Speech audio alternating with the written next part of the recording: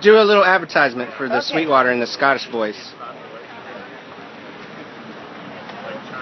You two could be drinking Sweetwater instead of like don't float with the mainstream and do what everybody else does, you know. Sweetwater.